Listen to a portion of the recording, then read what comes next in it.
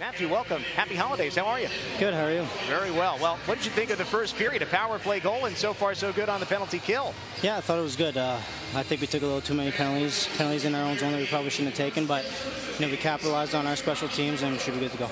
You almost had yourself a shorthanded goal. How did that play unfold? Oh, it was just a loose puck in our own zone, and it's kind of a 50-50 between me and their D, and I was lucky enough to poke it by them. Uh, we've asked several folks, coaches, your teammates, some of your best attributes. And I'll ask a player or two, and more often than not, if I ask who's the fastest guy on the team, Matthew Peca's name comes up. How does speed affect the game that you play? I think it's I think it's a big part of my game. I'm not a not a big physical guy, so I need to kind of move my feet, get out of traffic areas, and beat guys to lose pucks, whereas other guys use their bodies more. So uh, I try and skate as much as I can, use my speed. On the power play side, you guys get that goal from Cam Darcy, a pretty play, the redirection. You got an assist on the goal. How did you see that play develop? Uh, again, it was just a, a, a, loose puck that came to our team, and we kind of settled it down pretty well. And Tony DeAngelo made a pretty good, nice pass to Darcy in the middle there.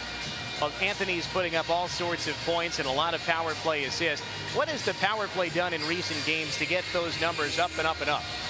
Uh, it's been huge. Uh, we've struggled as of late to score goals five on five, so it, it's good when your power play starts to click. It gives the team a boost, and you know it, it, takes momentum away from the other team. And Cam Darcy in a situation where he might not normally play on the power play, but so many call-ups, there he is on the man advantage.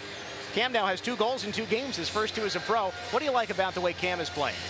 Uh, well, he, he works extremely hard. He, he's a great skater. He's not, he's not afraid to get in the corners and get dirty. So uh, he's a good attribute to our team, and he's also very skilled. So um, he's been a good addition to the power play in the middle there. Well, Matt, we talked about it last night on our Crunch Weekly radio show. Uh, Star Wars fan, you and your buddy, your roommate Adam Wilcox, getting ready to watch Star Wars coming up soon? Yeah, yeah, we'll watch it after the break. We'll, we'll focus on hockey for now. Focus on hockey for now. We got three and three here. Matthew Peca with an assist on the first period goal. Matt, good luck the rest of the way. Thank you.